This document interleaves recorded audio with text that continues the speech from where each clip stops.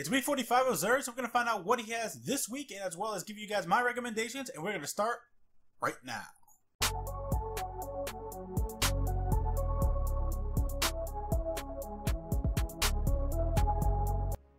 What's up guys, Reckless here, and welcome to Guardian Watcher. So, Xur is located on Io by the wonderful Giant Scar, so we're going to mark him and find out what he has this week. Xur! What's up, dude? Show you these. So like always, we're going to start with the left-hand side. The weapon of the week is the Cold Heart. Then we have the Graviton Forfeit, Helm of Saint-14, as well as the Vesper Radiance. We're going to start with the Cold Heart first. The perk on this is Cold Fusion, which shoots a Cold Fusion powered laser. Then we have Extended Barrel, Enhanced Battery, Longest Winter, which Cold Heart's laser does exponentially more damage the longer it remains on target. Then we have Handlaid Stock, this is definitely a tier 1 in PvE, but probably a tier 2 to 2.5 in PvP.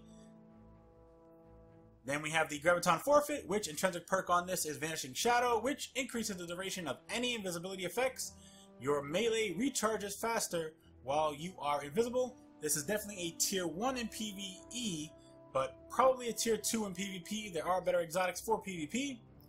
Then we have Helm of Saint-14, which the intrinsic perk is Starless Night, and your Ward of Dawn blinds enemies that enter it, guarding with Sentinel Shield temporarily blinds nearby enemies.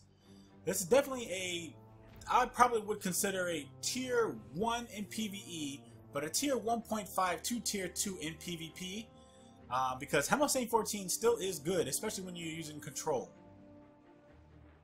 Then we have the Vesper Radiance. In terms of perk on this is Planetary Torrent, which rifts release an arc shockwave when cast. Rift energy recharges faster when you are surrounded by enemies. This is probably going to get a tier 2.5 to tier 3 in PvE as well as PvP. As for your consumables, we have your 3 of coins and your 5 of swords. And last but not least, we have your Fated Engram. Go ahead, grab one of these first if you do not have them, and then go ahead and pop the Fated Engram because you have a chance to grab one of these if you pop your Fated Engram.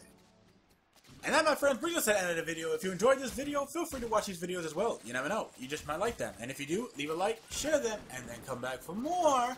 Because you know you want to. Thank you guys for watching. And remember, less guns doesn't mean less crime. And I will see you guys next time.